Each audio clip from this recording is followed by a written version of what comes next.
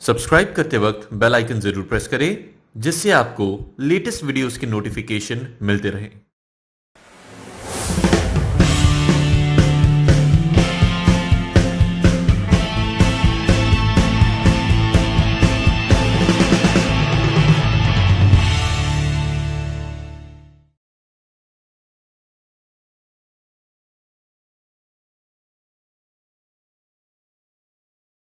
Hello students I welcome you all to lecture of इसका चलिए, आज लेंगे अपन एक नया चैप्टर जो कि है chapter number one governance and management of information system तो चलिए, सब आ जाएँगे मेरे साथ पेज नंबर 1.1 पे, जहाँ पे आपको मिलेगा chapter number one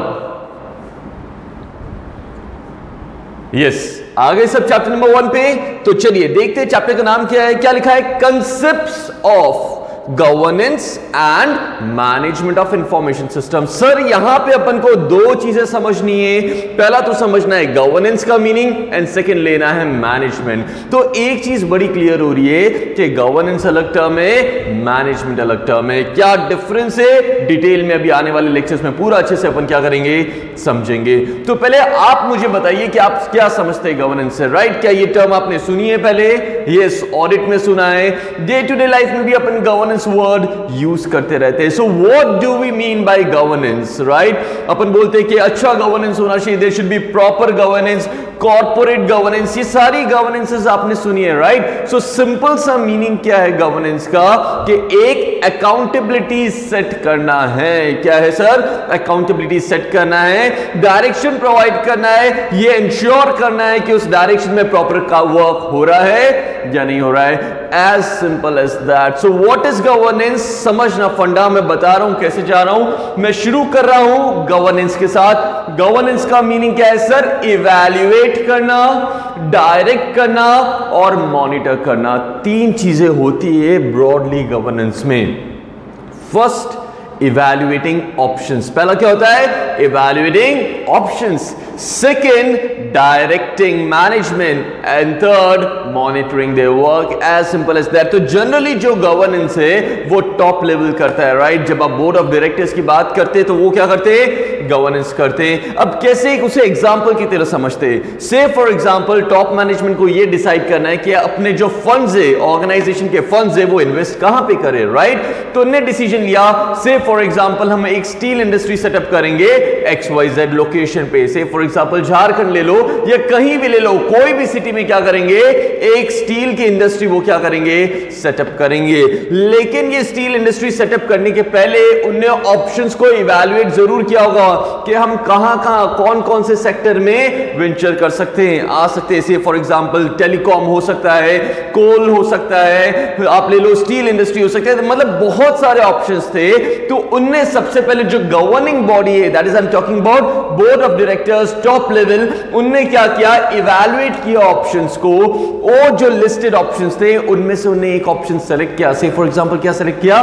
steel industry select किया, और सेलेक्ट करने के बाद डायरेक्ट किया मैनेजमेंट को कि जाओ वहाँ पे अच्छे से एक प्रॉपर वे में पूरी इंडस्ट्री को सेटअप करो रन करो, और मॉनिटर करो। जो चीज़ बोल रहा हूँ, समझ लेना। Top level that is governance level that is board of directors ने अच्छे से चीज़ों को इवेल्युएट करके डायरेक्ट किया। किसे किया? मैनेजमेंट को। अब जब वो डायरेक्ट कर देंगे मैनेजमेंट को तो वो क्या देखेंगे?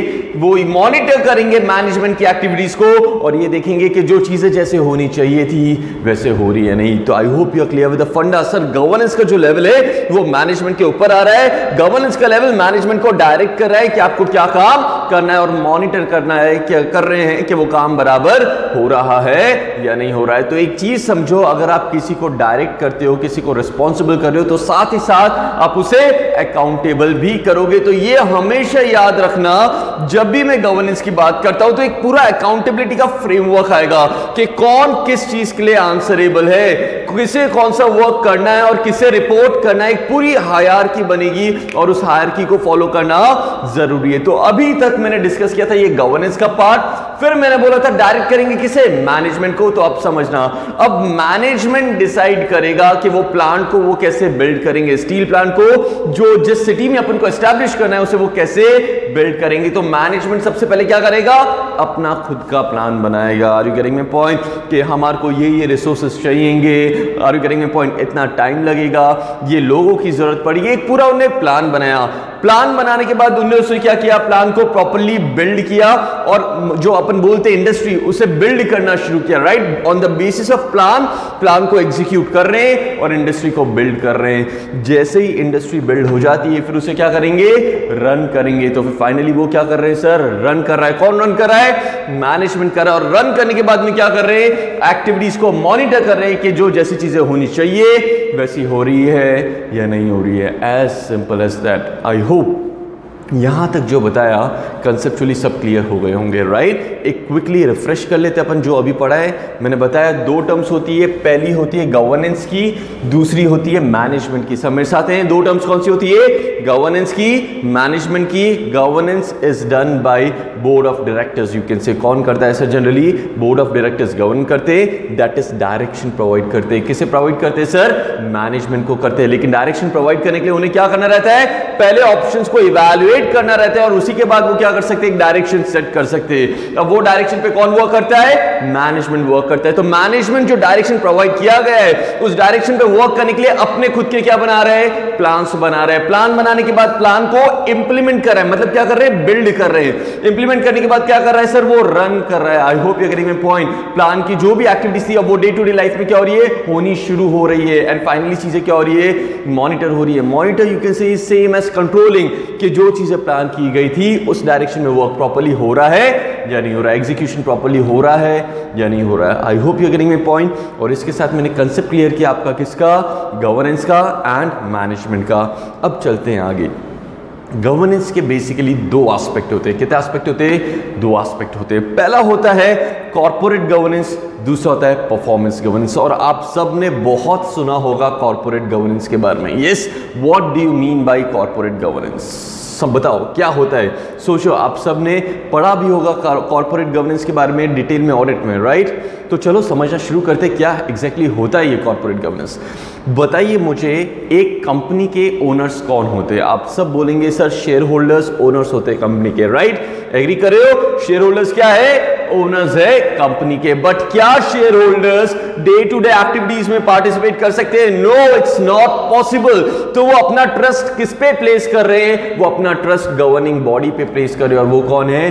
बोर्ड ऑफ़ डायरेक्टर्स बट आप आज के लेटेस्ट केसेस देखो जो बोर्ड ऑफ़ डायरेक्टर्स में है प्रेजेंट राइट right, वही क्या कर रहे हैं? बड़े बड़े फ्रॉड्स कर रहे हैं। आप एग्ज़ाम्पल ले सकते हो सत्यम का देखा होगा आपने राइट right? बहुत फ़ेमस केस है जहाँ पे बोर्ड खुद जानते हुए भी क्या कर रहे थे सर फ्रॉड्स में इन्वॉल्व थे। मतलब शेयर होल्डर्स ने जिन पे अपना ट्रस्ट प्लेस किया है, वो अपनी ड्यूटीज़ को प्रॉपरली डिस्चार्ज नहीं कर रहे, वो प्रॉपरली वर्क नहीं कर रहे तो उन पे कंट्रोल्स लगाने ज़रूरी है।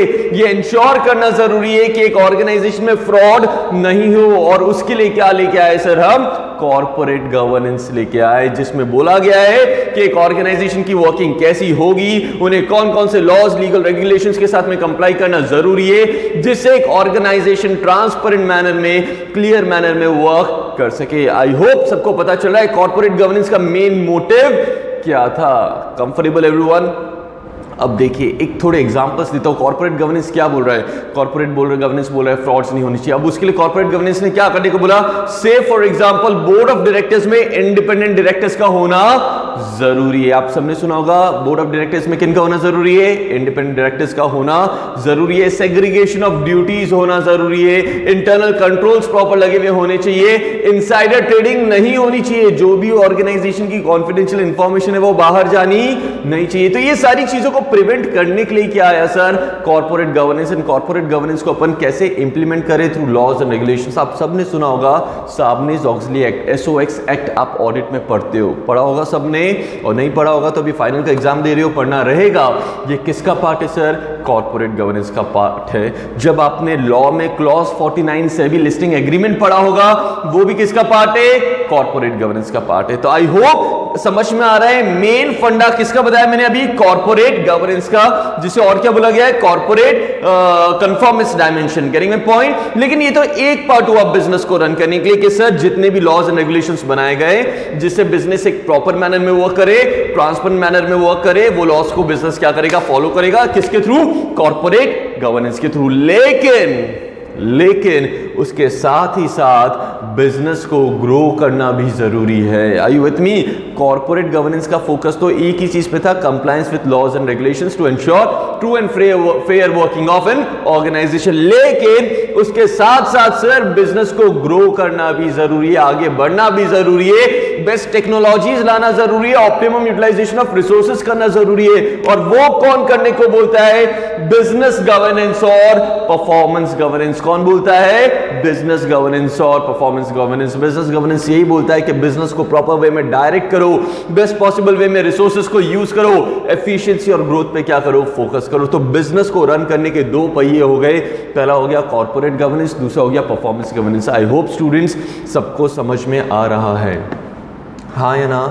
चलिए ग्रेट सबको समझ में आ रहा है। चलते अपन आगे। अब एक चीज़ समझो गवर्नेंस एक मैक्रो लेवल टर्म है। समझ लेना, ध्यान से जो बताने की कोशिश कर रहा हूँ। गवर्नेंस क्या है? एक मैक्रो लेवल टर्म है। गवर्नेंस वर्ड अपन एक कंट्री के लिए भी यूज़ कर सकते हैं। आप सबने सुना होगा, जब इलेक्शंस थे, मोदी जी बार बार अपनी स्पीचेस में क्या बोल रहे थे? We'll focus on good governance good governance good governance मतलब ये governance word can be use for country as well as organisation और जब मैं स्पेसिफिकली गवर्नेंस को यूज़ करता हूँ किसी ऑर्गेनाइजेशन के लिए तो उसे बोलते हैं एंटरप्राइज गवर्नेंस क्या बोलते हैं? एंटरप्राइज गवर्नेंस क्लियर है ना? समझ लो governance is a macro word क्या है सर बहुत बड़ा टर्म है, जो सारी चीज़ों को कवर करता है, लेकिन जब मैं स्पेसिफिकली बात करता हूँ एंटरप्राइज की तो उसे क्या बोलते हैं? एंटरप्राइज गवर्नेंस तो चाहे मैं आपसे पूछूँ गवर्नेंस के डायमेंशन कितने हैं, या एंटरप्राइज गवर्नेंस के डायमेंशन कितने हैं, आप सभी का आंसर यही रहेगा।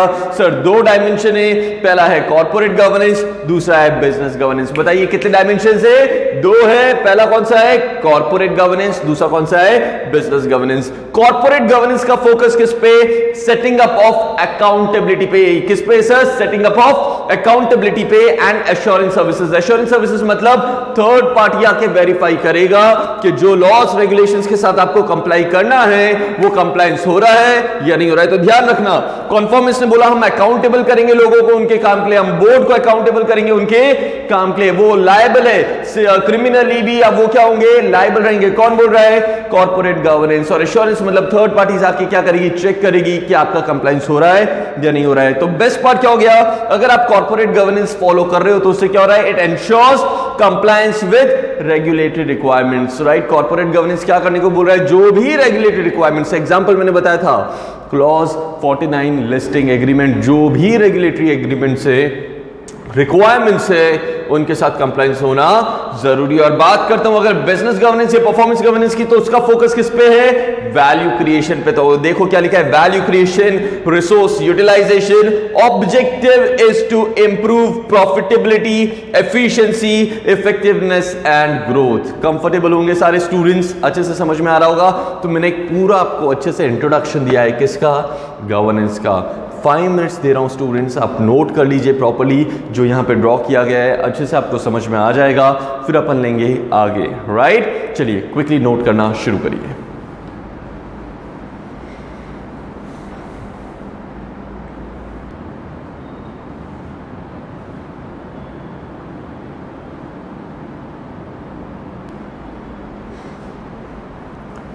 चलिए स्टूडेंट्स आई होप आप सब कंफर्टेबल है।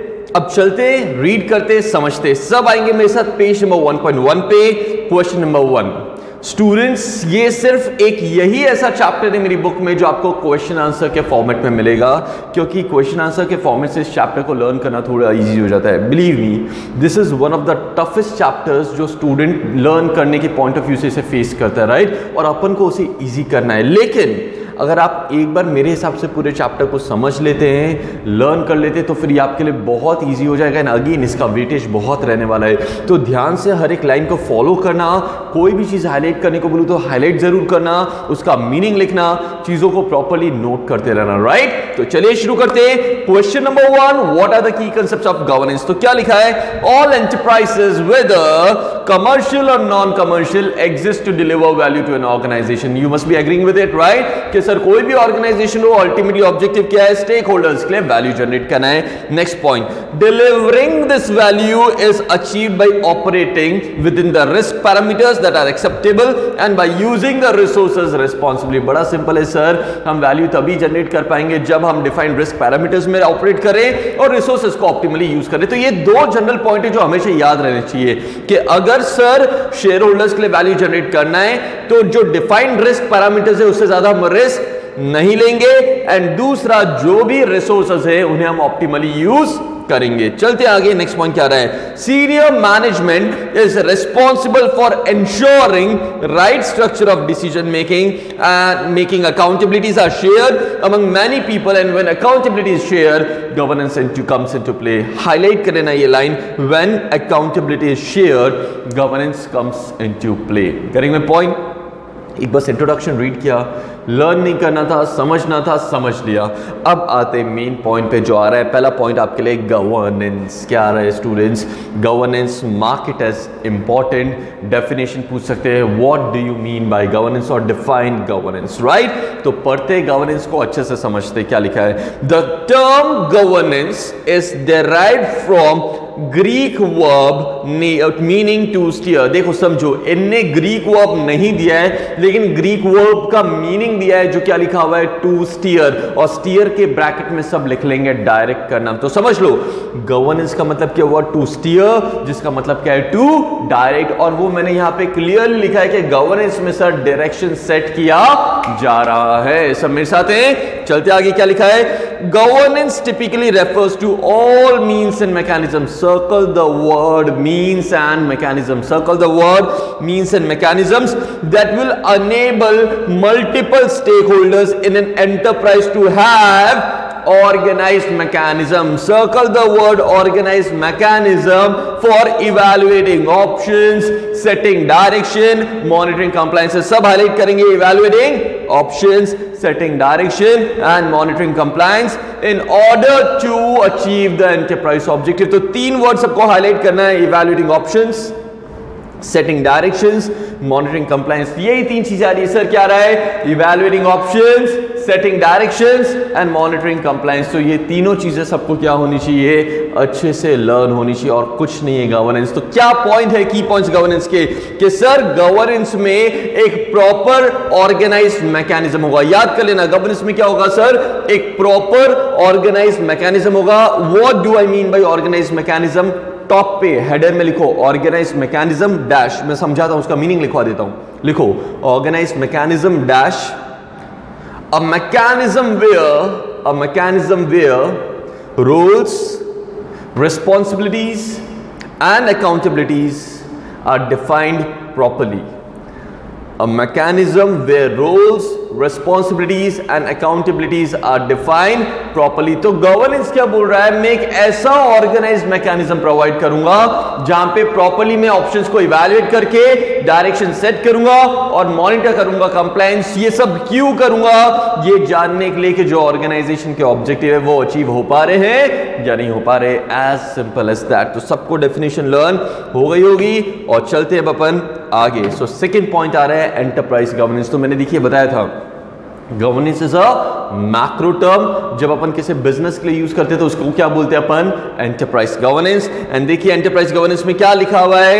Enterprise governance is defined as the set of responsibilities and practices exercise by board and executive management तो हाईलाइट करो सर ये जो एग्जीक्यूटिव गवर्नेंस है, ये जो एंटरप्राइज गवर्नेंस है, वो कौन करेगा? हाईलाइट करो board and top management board and top management अब आप अपन क्या एक्सपेक्ट करेंगे बोर्ड या टॉप मैनेजमेंट से? चलिए अज्यूम करिए कि आप किसी कंपनी के जाके बोर्ड में जा रहे हो बोर्ड मेंबर बन रहे हो, अब आपसे हम क्या एक्सपेक्ट करेंगे? सिंपल सी चीज़ है सर आप एक अच्छा डायरेक्शन सेट करेंगे, आप एक स्ट्रैटेजी डिफाइन करेंगे, आप ये इंश्योर करेंगे कि रिसोर्सेज को आप ऑप्टिमली यूज़ करें, आप ये इंश्योर करेंगे कि रिस्क हमेशा प्रॉपरली मैनेज रहे विद इन रिस्क पैरामीटर्स रहे। हाँ या ना, यही चीज़ें आप देखोगे ना तो यही चीज़ लिखा है कि सर एंटरप्राइज गवर्नेंस में हम रिस्पॉन्सिबिलिटीज डिफाइन करें किसकी? बोर्ड एंड सीनियर मैनेजमेंट की एग्जीक्यूटिव मैनेजमेंट की, और वो क्या क्या करेंगे?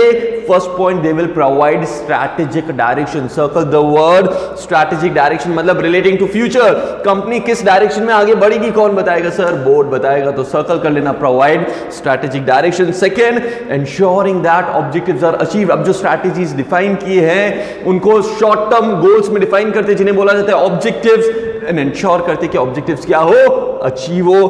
Third point ascertaining the risk that can be managed ascertaining, ascertaining that the risks are managed properly. And last point are verifying whether organizations resources are used responsibly. अब देखिए अगर आप पब्लिक से फंड्स ले रहे हैं कोई चीज़ बोल के तो आपको ये इंश्योर करना ज़रूरी है कि फंड्स वही पर्पस में क्या हो डिप्लॉय हो आपके पर्सनल पर्पस के लिए यूज़ होने नहीं चाहिए। अगेन किंगफिशर का एग्जांपल बेस्ट है सर अगर आप एयरलाइंस बना रहे हो पब्लिक से फंड्स लिया एयरलाइंस के लिए तो उसे प्राइवेट पर्पस के लिए पूरा यूज़ मत करो।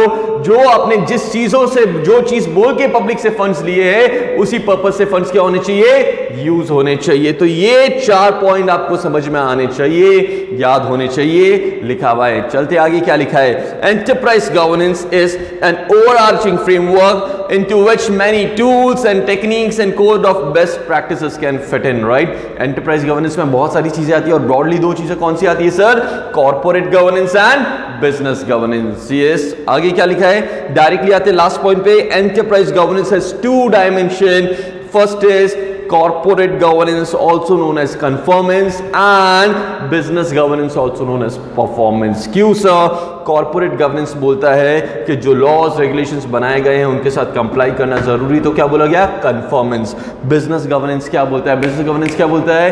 कि कैसे आप परफॉर्म करोगे, कैसे एफिशिएंसी इंक्रीज होगी? तो उसे और क्या बोलते हैं? Performance governance I hope students आप सब क्लियर है किसके साथ? एक, जो डेफिनेशन मैंने बताई गवर्नेंस की एंड दूसरा डेफिनेशन जो बताई मैंने एंटरप्राइज गवर्नेंस की। सबको एक चीज़ करना है स्टार्ट लर्निंग द डेफिनेशन पहले लर्न करोगे गवर्नेंस की it would take much time फटाफट लर्न करो, फिर लेना एंटरप्राइज गवर्नेंस फिर अपन शुरू में करेंगे क्वेश्चन नंबर टू जिसमें अपन पढ़ेंगे एंटरप्राइज गवर्नेंस के डायमेंशंस दो डायमेंशंस पढ़ने वाले हैं, पहला होगा कॉर्पोरेट गवर्नेंस और दूसरा होगा परफॉर्मेंस गवर्नेंस शुरू करिए पढ़ना।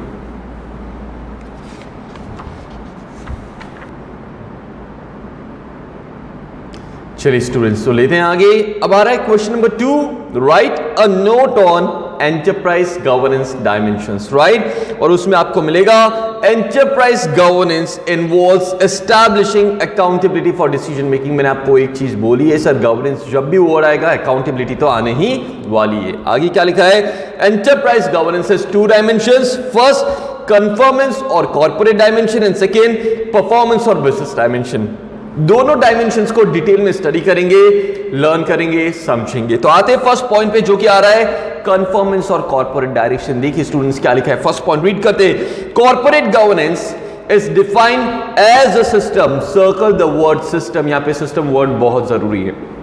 सिस्टम मतलब सर बहुत सारी चीज़ें मिलके कॉर्पोरेट गवर्नेंस को इंप्लीमेंट करने में आपको हेल्प करेगी राइट क्या बोल रहा है? It is defined as a system by which a company और enterprise is directed and control कौन कौन से फैक्टर्स मिलेंगे, कौन कौन सी चीज़ें रिसोर्सेज पीपल मिलेंगे, जिनके थ्रू आप एक कंपनी को डायरेक्ट करोगे और कंट्रोल करोगे। क्यों करोगे? To achieve the objective of increasing shareholders wealth objective बड़ा सिंपल है increasing shareholders wealth and enhancing economic performance तो देखिए लेफ़्ट पेज पे मैं सिस्टम जो भी आपने सर्कल किया ना, उसे मैं डिफाइन करवा देता हूँ कि सिस्टम में कौन कौन सी चीज़ें एग्जैक्टली आ जाती है।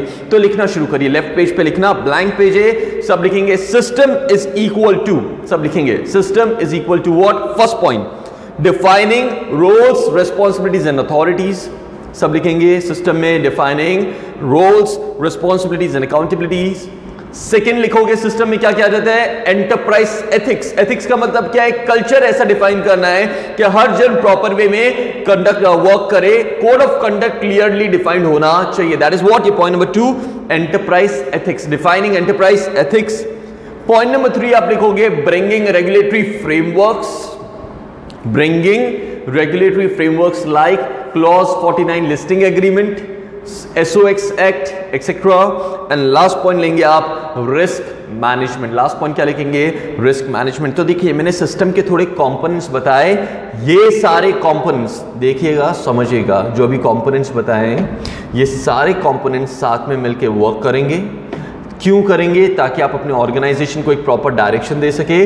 और डायरेक्शन में वर्क हो रहा है या नहीं, उसे आप मॉनिटर कर सके? क्यों करना है? क्योंकि अल्टीमेटली हम शेयर होल्डर्स के लिए वैल्यू क्रिएट करना चाहते हैं और ऑर्गेनाइजेशन का ऑब्जेक्टिव अचीव करना चाहते। हैं सबको पहला पॉइंट बहुत अच्छे से समझ में आया होगा। कोई डाउट इसमें होगा नहीं। क्लियर हो रहे हैं एवरीवन चलिए ग्रेट चलते हैं आगे। Turn your page come on page number 1.2 first point समझ में आ गया। सबने हाईलाइट किया है। एक सिस्टम है जिसके थ्रू हम डायरेक्ट कर रहे हैं। कंट्रोल कर रहे हैं ताकि शेयर होल्डर्स के लिए वैल्यू जनरेट कर सके एंड ऑर्गेनाइजेशन का ऑब्जेक्टिव अचीव कर सके। एक्सिलेंट सेकेंड पेज में क्या बोल रहा है? Corporate governance refers to structures and processes circle the word structures and processes structure का मतलब क्या हो गया? हायर लिख दो पर hierarchy is defined yes and process के ऊपर क्या लिख दो? Series of steps to be perform series of steps to be perform किस चीज़ के लिए? सर, एक हायर की डिफाइन कर। रहे हैं वो हायर की में लोग क्या क्या काम करेंगे, वो डिफाइन करे। क्यों करे? ताकि हम प्रॉपरली डायरेक्ट कर सके और चीज़ों को कंट्रोल कर सके। तो वही लिखा है it refers to the structures and processes which you need to circle and learn for the direction and control of companies तो दो पॉइंट कराए। देखो, याद क्या रखना है? वो सर्कल कर लेना। पहले में सिस्टम पे फोकस रखना, दूसरे में स्ट्रक्चर्स एंड प्रोसेसेस पर सर्कल करना और फोकस रखना। करेंगे पॉइंट आते थर्ड पॉइंट पे। Corporate governance defines the relationship और concern the relationship among management board of directors and shareholders मैंने आपको बताया था बोर्ड किसे आंसरेबल है सर शेयर होल्डर्स को। और बोर्ड को कौन आंसरेबल है? मैनेजमेंट तो एक सिंपल सी हायर की समझ लो बना दिए, जिसमें बताया management is answerable to board and board is answerable to shareholders मैंने क्लियरली सबकी अकाउंटेबिलिटीज डिफाइन कर दी और सबको बता दिया है कि आपको क्या क्या काम करना है और आप किसे आंसरेबल है? कंफर्टेबल एवरीवन सबको समझ में आ रहा होगा।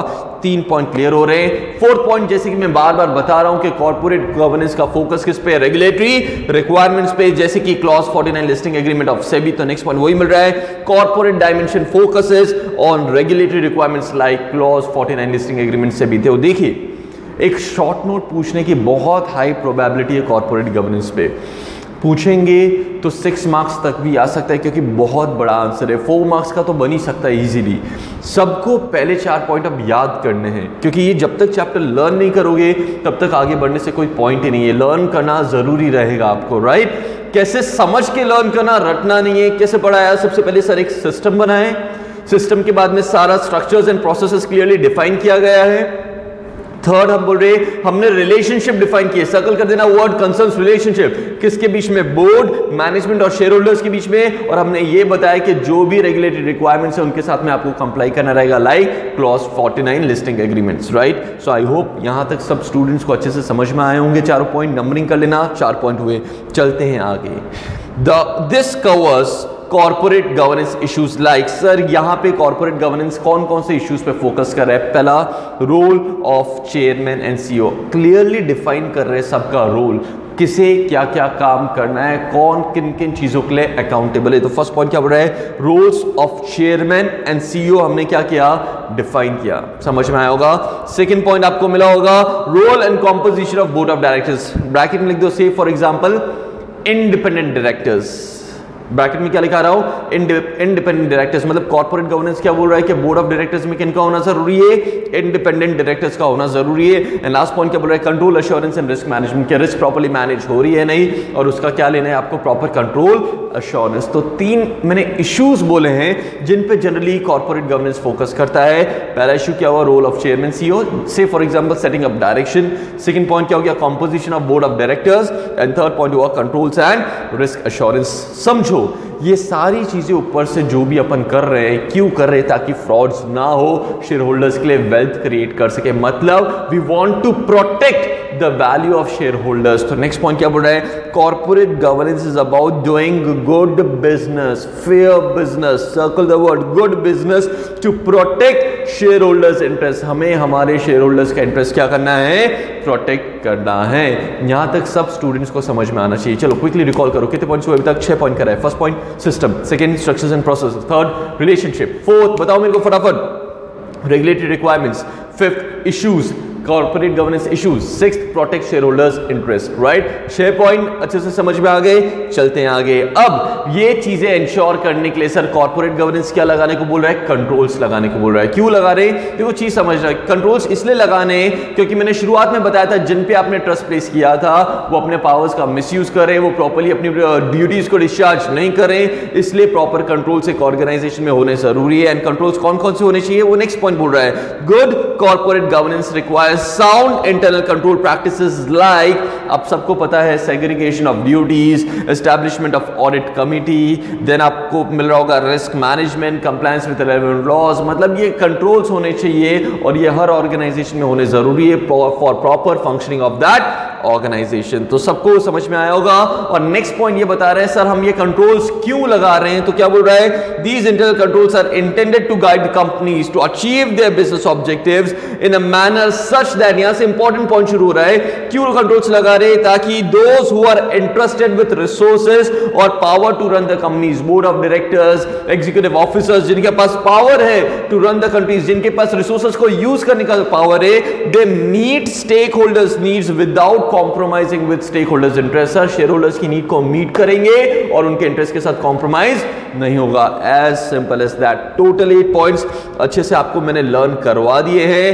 पहले ये एट पॉइंट्स अच्छे से नंबर कर लेना और फिर लर्न करना राइट लेकिन दो और पॉइंट एक बार अपन कंप्लीट करके टोटल टेन पॉइंट्स को क्या करते हैं? कंप्लीट करते सब आएँगे उसी आंसर के लास्ट पॉइंट में, जो लास्ट लाइन मिल रही है नोट के ऊपर राइट नोट पढ़ने की ज़रूरत नहीं नोट को आप कट कर सकते क्या लाइन है? Corporate governance is monitored by audit committee क्योंकि कॉर्पोरेट गवर्नेंस लॉज के साथ कंप्लाई करने को बोल रहा है तो हमेशा ऑडिट कमिटी आएगी। क्यों आएगी? क्योंकि ये चेक करना ज़रूरी है कि जो कंप्लायंस है, वो हो रहा है। या नहीं हो रहा है। Getting point it is monitor by audit committee and आपको एक थर्ड लास्ट पॉइंट मिलेगा। रेगुलेटरी रिक्वायरमेंट्स हाईलाइट करना। Regulatory requirements and standards generally address this dimension with compliance being subject to audit and assurance मैंने आपको बताया था sir ये concluding point है, लिख देना कंक्लूडिंग पॉइंट जो टेंथ पॉइंट है, जो कि क्या बोल रहा है सर बड़ी सिंपल चीज़ बोल रहा है कि ये जो कन्फॉर्मेंस डायमेंशन है, इसमें आपको लॉज एंड रेगुलेशन के साथ कंप्लाई करना ज़रूरी है और उसका compliance is always subject to audit मतलब क्या कर ऑडिटर आके चेक करेगा कि प्रॉपर कंप्लायंस हो रहा है या नहीं हो रहा है। तो बहुत अच्छे से अपने पूरे पॉइंट्स मैंने दस पॉइंट आपको पूरे मार्क कराए लर्न कराए अच्छे से आप समझ लेना स्टूडेंट्स फाइव मिनट्स लेना क्विकली वापस से पेज नंबर वन पूरा रीड करो. पेज नंबर टू के कॉर्पोरेट गवर्नेंस को पूरा स्टडी करो. फिर अपन लेते हैं नेक्स्ट पॉइंट जो कि है आपका बिज़नेस गवर्नेंस डायमेंशन लेकिन उसके पहले मैं एक और कॉर्पोरेट गवर्नेंस का पॉइंट लूँगा. लेकिन फ़र्स्ट रीड द डेफिनेशन शुरू करिए डेफिनेशन रीड करिए. चलिए स्टूडेंट्स आई होप आप सब कंफर्टेबल है. अब अपन सबसे पहले लेंगे एक बार क्वेश्चन नंबर नाइन सब आएँगे पेज नंबर 1.5 पे. 1.5 पे आपको मिलेगा question number nine what is corporate governance and right down some of the best practices to implement corporate governance very very important from exam point of view expected लिख देना. Expected and important from exam point of view okay अब what is corporate governance already पूरा एक note मैंने आपको अच्छे से समझा दिया है। सेम चीज़ है रिपीटेशन है। अपन एक बार रीड कर लेते हैं। आपको समझ में आ जाएगा। तो देखिए क्या लिखा है। सब मेरे साथ रहना। पेज नंबर 1.5 पे question number 9 right okay corporate governance is defined as a system by which business corporations are directed and controlled. तो देखिए, ये वही लाइन वापस से रिपीट हो रही है। सिस्टम है जिसे आप चीज़ों को डायरेक्ट कर रहे हो और कंट्रोल कर रहे हो। तो हाईलाइट कर लेना। डायरेक्टेड एंड कंट्रोल्ड आगे। कॉर्पोरेट गवर्नेंस स्ट्रक्चर स्पेसिफाइज मैंने बताया था सबकी रोल्स रिस्पॉन्सिबिलिटीज क्लियरली डिफाइंड होगी हायर की क्लियरली क्या होगी? डिफाइंड होगी। तो क्या बोल रहा है? It specifies the distribution of rights and responsibilities among different participants in the corporation. Such as board, managers, shareholders and stakeholders and spells out the rules and procedures for decision making in the on the corporate affairs. सारी चीज़ें clearly क्या होती है? Defined होती है वो ये चीज़ बोल रहा है। मतलब याद करो मैंने बताया था structures and processes for direction and control बताया था या नहीं? तो वही चीज़ होगी आपका पॉइंट नंबर टू जहाँ पे क्लियरली हर एक चीज़ क्या है? स्पेल्ड आउट है। तो एक इंट्रोडक्शन तो आपको समझ में आया।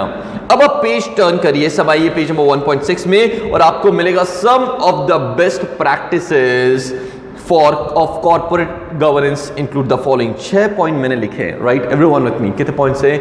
सिक्स पॉइंट्स है.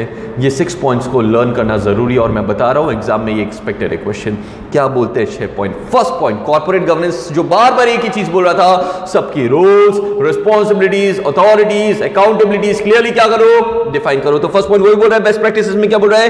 क्लियर असाइनमेंट ऑफ़ सर्कल कर लेना responsibilities decision making authorities incorporating hierarchy of required approvals वही चीज़ रिपीट की गई है, याद रखना responsibilities authorities hierarchy of required approvals right second point क्या बोल रहा है? Establishing a mechanism for interaction amongst both management and auditors auditors आएँगे चेक करने कॉर्पोरेट गवर्नेंस में कि लॉज के साथ कंप्लाई हो रहा है, नहीं तो उनका इंटरेक्शन किसके साथ होना ज़रूरी है? सर बोर्ड के साथ और मैनेजमेंट के साथ इंटरेक्शन होना चाहिए। तो ये एक ही चीज़ बोल रहा है there should be proper interaction and cooperation between board management and auditors for effective implementation of corporate governance हाँ या ना? दो पॉइंट समझ में आ रहे होंगे। अगेन क्विकली रीड कर लेना, दो पॉइंट फिलेंगे आगे। पहला point assignment responsibilities etc hierarchy of approvals. Second point, clear interaction and cooperation. किसके बीच में sir board senior management and auditors comfortable चलो एक्सीलेंट नेक्स्ट पॉइंट क्या बोल रहा था कॉर्पोरेट गवर्नेंस को अगर आपको इंप्लीमेंट करना है प्रॉपर्ली तो स्ट्रॉन्ग इंटरनल कंट्रोल्स होने ज़रूरी है अभी अपन पढ़ा था इंटरनल कंट्रोल्स में क्या पढ़े थे अपन ने सेग्रीगेशन ऑफ़ ड्यूटीज़ पढ़ा था याद करना राइट रिस्क मैनेजमेंट प्रॉपर होना ज़रूरी है कंप्लायंस विद लॉस होना ज़रूरी है तो जो भी इंटरनल कंट्रोल्स पढ़े थे वो वापस से रिपीट करें क्या बोल रहे there should be implementation of strong internal control system. Highlight karna strong internal control system including internal external audit functions and risk management. Getting my point फिर आपको कंट्रोल लगाने के साथ साथ प्रॉपरली पीरियोडिकली रिस्क एक्सपोजर्स को भी monitor करना ज़रूरी। तो नेक्स्ट पॉइंट क्या बोल रहा है? Special monitoring of risk exposure special monitoring of risk exposures बच्चों, ये चारों के चार पॉइंट मैंने आपको पहले जब मैंने इंट्रोडक्शन लिया कॉर्पोरेट गवर्नेंस का पूरा समझाया। Right right? सबको समझ में आ रहा होगा? कंट्रोल्स लगे होने चाहिए। रिस्क को प्रॉपरली मॉनिटर करना बहुत ज़रूरी है। नेक्स्ट पॉइंट क्या बोल रहा है सर आप बताइए फ्रॉड जनरली कब होते हैं? सपोज़ अगर कोई मैनेजमेंट कोई भी टाइप का इंसेंटिव डिजर्व करता है say for example financial incentive या प्रमोशन कुछ भी डिजर्व करते हो और आप उसे नहीं देते हो तो वो जनरली क्या कर सकते हैं? फ्रॉड कर सकते हैं। तो कॉर्पोरेट गवर्नेंस यही बोल रहा है, एक काम करो, जो भी लोग आपके यहाँ काम कर रहे हैं, अगर वो कोई इंसेंटिव डिजर्व कर रहे हैं तो उन्हें वो चीज़ दो राइट नेक्स्ट पॉइंट क्या बोल रहा है? Financial and managerial incentive financial मतलब पैसा मैनेजरियल मतलब status work profile right status financial and managerial incentive offered to Syria management comma business line management to act in appropriate manner in form of compensation, promotion and other recognition. In form of highlight कर लेना compensation मतलब पैसा देना promotion मतलब status and other recognition and last point क्या बोल रहा है सर कॉर्पोरेट गवर्नेंस बोलता है इनसाइडर ट्रेडिंग नहीं होनी चाहिए होनी चाहिए नहीं होनी चाहिए नहीं होनी चाहिए तो there should be appropriate flow of information internally and to the public और इसके साथ मैंने बेस्ट प्रैक्टिस कंप्लीट करी कॉर्पोरेट गवर्नेंस की बहुत अच्छे से लर्न कर लेना। क्विकली एक बार रिकॉल कर लो सर क्लियर असाइनमेंट करी, किसके रोल्स एंड रिस्पॉन्सिबिलिटीज की। फिर हमने एक मैकेनिज्म सेट किया जहाँ पे कॉपरेशन एंड प्रॉपर कम्युनिकेशन है। बोर्ड मैनेजमेंट एंड ऑडिटर्स के बीच में हमने बताया इंटरनल कंट्रोल सिस्टम होना ज़रूरी है। पीरियोडिकली रिस्क एक्सपोजर को मॉनिटर करो। जिन्हें फाइनेंशियल इंसेंटिव चाहिए, देना है, उन्हें दो। और लास्ट पॉइंट बोल रहा है कंट्रोल फ्लो ऑफ़ इंफॉर्मेशन होना चाहिए बोथ इंटरनली एंड एक्सटर्नली और इसके साथ में बेस्ट प्रैक्टिसेस कंप्लीट हुई बच्चों क्विकली इसे रिवाइज करो लर्न करो एक्सपेक्टेड है important exam point of view से शुरू करो।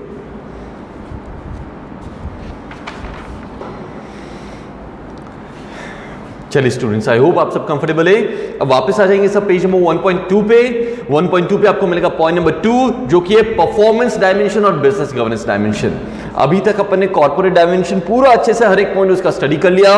अब जो है, वो है आपका second point that is business और परफॉर्मेंस गवर्नेंस राइट एक चीज़ बताओ, अगर आप कोई बिज़नेस कर रहे हो स्ट्रैटेजीज बना रहे हो तो आप प्रोएक्टिव होगे या रिएक्टिव होगे? आप सब बोलोगे, सर, हम फ्यूचरिस्टिक है तो हम प्रोएक्टिव होंगे। हम आज ही देखेंगे कि आने वाले कल में हमें क्या करना है और कैसे करना है। तो वही लिखा हुआ है फ़र्स्ट पॉइंट में business governance is proactive in approach it is it takes forward looking view सबको ये पॉइंट समझना चाहिए proactive and forward looking view देता है। Next point this dimension focuses on strategy and value creation highlight करें ना इसका एक ही ऑब्जेक्टिव है सर क्या हम बिज़नेस को कैसे डायरेक्ट करें और कैसे बिज़नेस से वैल्यू क्रिएट करें हमारे शेयर होल्डर्स के लिए with the objective of helping the board to make strategic decision understand its risk appetite and key performance drivers key performance drivers मतलब कौन कौन से की फैक्टर्स होने वाले हैं जो आपकी परफॉर्मेंस को ड्राइव करेंगे। गेटिंग पॉइंट आते हैं नेक्स्ट पॉइंट पे। नेक्स्ट पेज पे आइए। Page number 1.3 this dimension does not lend itself to a regime of standards and assurance अब एक चीज़ समझ लो ग्रोथ की अप्रोच है स्ट्रैटेजी प्रोवाइड करना, ये जो अप्रोच है,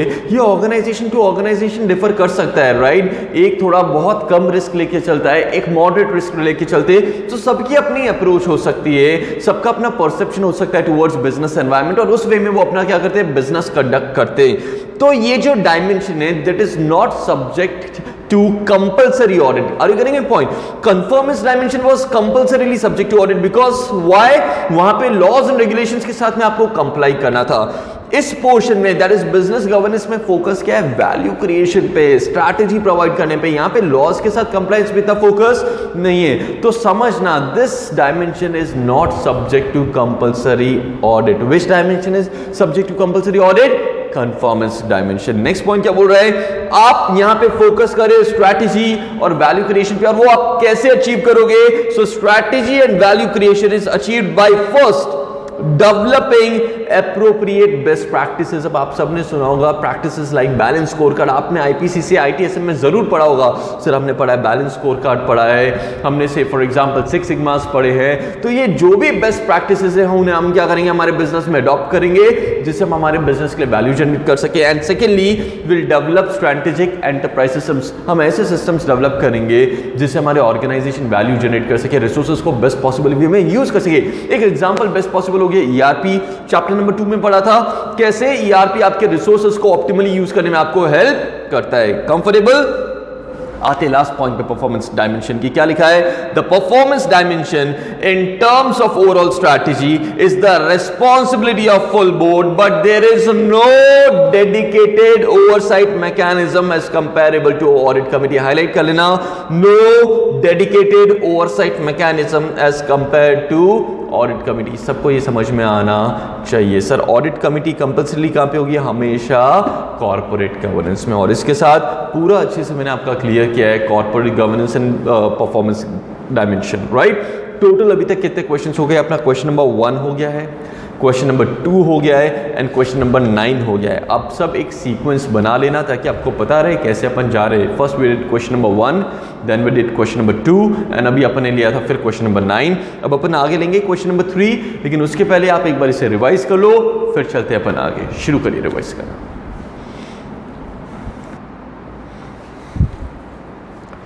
चलिए स्टूडेंट्स आई होप यहाँ तक कंफर्टेबल है आप। अब क्वेश्चन नंबर थ्री को लेने के पहले मैं एक थोड़ा से कंसेप्ट और आपके क्लियर करना चाहूँगा।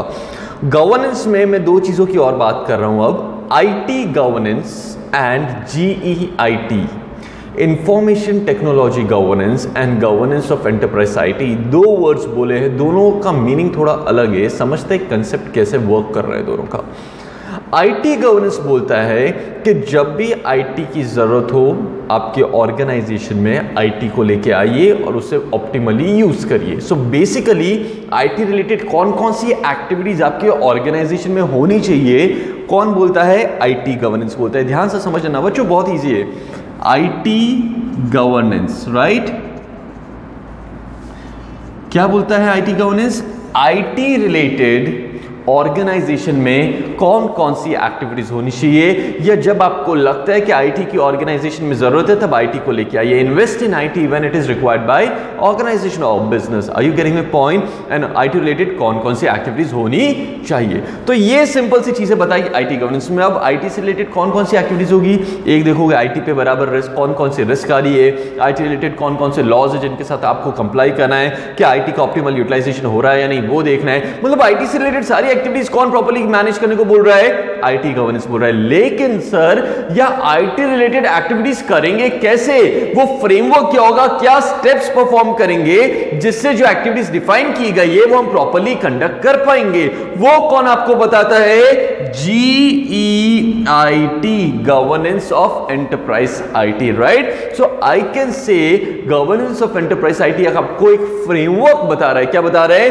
फ्रेमवर्क बता रहा है कि आप उस फ्रेमवर्क के थ्रू आईटी रिलेटेड सारी एक्टिविटीज़ को प्रॉपरली कंडक्ट कर पाओगे। एज सिंपल इज़ दैट इतना सबको समझ में आया होगा, कोई डिफिकल्टी फेस नहीं करोगे राइट right? देखो मीनिंग्स और भी बहुत सारे होते हैं इंटरप्रेट डिफरेंट डिफरेंट वे में होते हैं बट अपन ब्रॉडली आपके बुक के हिसाब से चल रहे हैं टेकिंग इनटू कंसिडरेशन सब इंटरनेशनली रिकग्नाइज बुक्स जिससे आपके कंसेप्ट क्या रहे क्लियर है राइट तो पहला पॉइंट क्या बताया मैंने? आईटी गवर्नेंस के कौन कौन सी आईटी रिलेटेड एक्टिविटीज़ एक ऑर्गेनाइजेशन में होनी चाहिए? एंड आईटी को लेके आओ जब बिज़नेस को ज़रूरत हो आईटी की। सिंपल सी चीज़ बोला। और जीआईटी क्या प्रोवाइड कर रहा है? एक फ्रेमवर्क प्रोवाइड कर रहा है जो बता रहा है कौन कौन से स्टेप्स कैसे परफॉर्म करोगे। आर यू विथ मी वो स्टेप्स कैसे परफॉर्म करोगे जिससे IT related activities effectively accomplish हो सके इफेक्टिवली आप अचीव कर सको। गेटिंग ए पॉइंट तो चलिए पढ़ते हैं क्वेश्चन नंबर थ्री पहले। क्या पढ़ते हैं? क्वेश्चन नंबर थ्री और क्वेश्चन नंबर थ्री क्या है? Describe major benefits that can be achieve through proper governance चलिए वापस से गवर्नेंस के सेक्शन में आ रहे हैं, अपन किसमें आ रहे हैं? गवर्नेंस के सेक्शन में आ रहे हैं। क्या बोल रहे हैं? बेनिफिट्स ऑफ़ गवर्नेंस सर्कल कर लो बेनिफिट्स सर्कल कर लो गवर्नेंस एग्ज़ाम में क्वेश्चन बन सकता है। What do you mean by governance write down benefits of governance important question what do you mean by governance write down benefits of governance मतलब question number one को और question number three को क्या किया है सर मर्ज किया है मैंने। तो चलिए पढ़ते क्या लिखा है गवर्नेंस में? First point, it provides stability and overcoming limitation of organizational structure. Simple सी चीज़ है पहली चीज़ हाईलाइट करो स्टेबिलिटी स्टेबिलिटी क्यों? सबकी रूल्स रिस्पॉन्सिबिलिटीज क्लियरली डिफाइंड है। अब समझो, कभी अगर कोई वर्क कोई लोअर लेवल नहीं कर पाता है तो इमीडिएटली वो किसे रिपोर्ट करेगा? मिडिल लेवल को। और मिडिल लेवल इंश्योर करेगा, जो वर्क लोअर लेवल से नहीं हो रहा है, वो कैसे वो अकम्प्लिश कर सकता है। मतलब गाइड कौन करेगा? मिडिल लेवल तो जो भी लिमिटेशन है, एक पर्टिकुलर लेवल की, उसे कौन ओवरकम करने में हेल्प कर रहा है? उसका अबव लेवल जो भी है अबव लेवल जो भी डिफाइन नहीं करेंगे. पॉइंट तो जो भी लिमिटेशन है ऑर्गेनाइजेशन स्ट्रक्चर की, वो अपन क्या कर रहे हैं? ओवरकम करे मोर ओवर क्लियरली सबकी रूल्स रिस्पॉन्सिबिलिटीज अकाउंटेबिलिटीज भी क्या हो रही है? क्लियरली डिफाइन हो रही है. तो that's point number one point number two क्या बोल रहा है?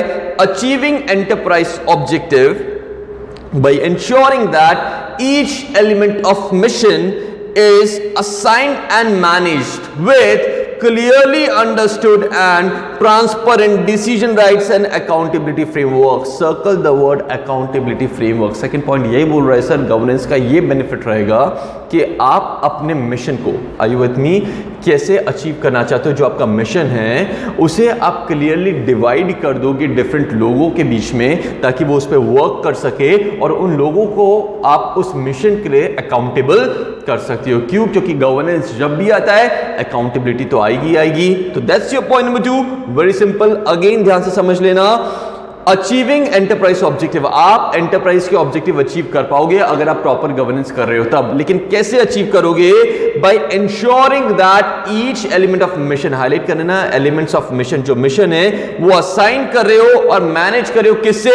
Clearly understood and transparent decision rights highlight कर लेना clearly understood and transparent decision rights and accountability framework. I hope students सबको दोनों पॉइंट अच्छे से समझ में आ गए होंगे। तो कैन आई से अभी जो पॉइंट नंबर वन और टू पढ़ा जो अभी अपन ने पढ़ा point number one and two क्या ये गवर्नेंस uh, में भी कॉर्पोरेट गवर्नेंस का पार्ट फॉर्म कर सकता है? हाँ या ना? यस तो सब क्या कर सकते हो? Point number one and two के वहाँ पे कर्ली ब्रैकेट कर दो और लिख दो कॉर्पोरेट गवर्नेंस तो आप रिलेट कर पाओगे हाँ ये दोनों चीज़ें हमने कॉर्पोरेट गवर्नेंस में ऑलरेडी पढ़ ली है। राइट आते point number three implementing and integrating desired business processes in the business याद करो, अभी मैंने बिज़नेस governance भी पढ़ाया था आपको, performance governance याद आया होगा आपको, जिसमें अपन ने बोला था बेस्ट स्ट्रैटेजीज लेके आएँगे वैल्यू क्रिएशन करेंगे थ्रू कैसे बेस्ट प्रैक्टिसेस के थ्रू स्ट्रैटेजिक एंटरप्राइज सिस्टम्स के थ्रू तो वही चीज़ थर्ड पॉइंट बोल रहा है कि सर अगर आप प्रॉपर गवर्नेंस करोगे तो आप इंटीग्रेट कर पाओगे, जो भी बेस्ट प्रैक्टिसेस है, वो अपने बिज़नेस में लेके आ पाओगे. That's your point number three implementing and integrating desired business processes in the enterprise और ब्रैकेट में थर्ड पॉइंट के लिख सकते हो बिज़नेस गवर्नेंस क्या लिख सकते हो? Business governance so I am trying to relate जो अभी आपने पढ़ा है, उसी से मैं रिलेट करा रहा हूँ ताकि आप याद रख सको। फ़र्स्ट टू पॉइंट्स किससे रिलेटेड हो गए? कॉर्पोरेट गवर्नेंस से। थर्ड पॉइंट किससे रिलेटेड हो गया? बिज़नेस गवर्नेंस से। अब एक चीज़ समझो, अगर आप डिजायर्ड बिज़नेस प्रोसेस लाना चाहते हो तो हो सकता है वो बिज़नेस प्रोसेस को लाने के लिए आईटी भी यूज़ करना पड़े दैट इज़ इंफॉर्मेशन टेक्नोलॉजी भी यूज़ करना पड़े। तो नेक्स्ट पॉइंट क्या बोल रहा है? Defining and encouraging desirable behaviour in the use of IT मतलब invest in IT when it is required by business IT को लेके आओ जब भी आपको उसकी ज़रूरत पड़ती है। और ये कौन बोल रहा था? अभी मैंने आपको बताया था कौन बोल रहा था? आईटी गवर्नेंस बोल रहा था कि सर जब भी आईटी की ज़रूरत पड़ेगी उसे आप लेके आओगे। तो again IT governance is also part of what governance only तो that's your next point defining encouraging use of behaviour in IT bracket में लिख दो आईटी गवर्नेंस लेकिन आईटी को मैं कैसे लेके आऊँगा सारे सबकी क्या रोल्स रिस्पॉन्सिबिलिटीज होगी क्या आर्किटेक्चर होगा वो भी मैं क्लियरली डिफाइन करूँगा तो पहले ले लेना point number six enabling effective and strategically aligning strategic decisions for IT principles that define. So basically you have to define, you have to take into consideration IT principles that define what? The role of IT IT architecture IT infrastructure IT related investments and prioritisation I hope सबको समझ में आ रहा है और यही चीज़ दी हुई है किसमें आपके बेनिफिट्स में। एक लास्ट पॉइंट बेनिफिट का जो बच रहा है वो क्या है अपने में? Improving customer comma business and internal relationship and satisfaction अगर ये सारी चीज़ें बराबर हो रही है, जो मैं चीज़ बोल रहा हूँ, समझना, अगर ऊपर की जो भी चीज़ें मैंने बोला है कि प्रॉपर हम गवर्नेंस कर रहे बिज़नेस गवर्नेंस कर रहे कॉर्पोरेट गवर्नेंस कर रहे आईटी गवर्नेंस कर रहे तो अल्टीमेटली हम शेयर होल्डर्स के लिए क्या करेंगे? वैल्यू क्रिएट करेंगे and they be happy that's last point improving customer business and internal relationship and providing them satisfaction comfortable total six point से अच्छे से लर्न हो गए दो पॉइंट किससे रिलेटेड हो गए? आईटी से रिलेटेड हो गए। हाँ या ना? आ, दो पॉइंट हो गए आपके आईटी से रिलेटेड दो पॉइंट हो गए कॉर्पोरेट गवर्नेंस से रिलेटेड एक पॉइंट हो गया आपका बिज़नेस गवर्नेंस से रिलेटेड और फाइनली क्या बोल रहे? हैं कस्टमर हैप्पी होगा। चलिए क्विकली रिवाइज करिए क्वेश्चन नंबर थ्री और फिर क्या करते हैं? इस क्वेश्चन को कंप्लीट करते हैं। शुरू करिए। चलिए स्टूडेंट्स आई होप आप सब कंफर्टेबल होंगे। क्विकली वापस से देख लिया आपने कॉर्पोरेट गवर्नेंस में क्या किया था? एक तो अपन स्टेबिलिटी लेके आए थे अकाउंटेबिलिटी लेके आए थे। That was point number one in benefits of governance one and two हो गया। फिर हमने बोला था, सर, हम डिज़ायर बिज़नेस प्रोसेसेस लेके आएँगे और उसके लिए आईटी की ज़रूरत पड़ी तो आईटी को भी लेके आएँगे। आईटी को लेके आ रहे तो आईटी का रोल आर्किटेक्चर सारी चीज़ें हम प्रॉपरली डिफाइन करेंगे। और लास्ट में क्या बोला, अगर ये सारी चीज़ें अच्छे से हो रही है तो हमारे कस्टमर्स क्या रहेंगे? सेटिस्फाइड रहेंगे। बहुत ईजी है। उसके बाद आ रहा question number four write a short note on corporate governance and IT governance उसे कर लेना रीड क्वेश्चन मतलब एग्ज़ाम पॉइंट ऑफ़ व्यू से ये क्वेश्चन इतना इंपॉर्टेंट नहीं है. आप सब एक बार बस रीड कर सकते हैं और आगे बढ़ सकते हैं, आपको समझ में आ जाएगा. तो आई होप इस लेक्चर में मैंने जो जो चीज़ें आपके लिए कवर करी, आप सबको क्लियर हो गई होगी, अच्छे से समझ में आ गया होगा. ये एक इंट्रोडक्शन था फाउंडेशन था ये चैप्टर का. अब एक चीज़ समझिएगा स्टूडेंट्स ये चैप्टर बेसिकली चार मेन चीज़ों पे चलने वाला है आगे जाके.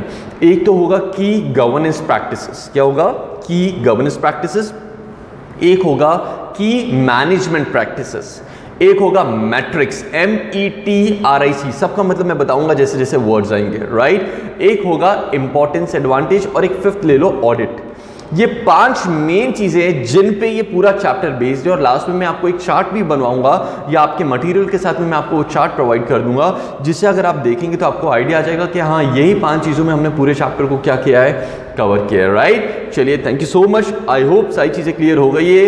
रिवाइज कर लेना अच्छे से. मिलते हैं नेक्स्ट लेक्चर में नए टॉपिक्स के साथ में. Thank you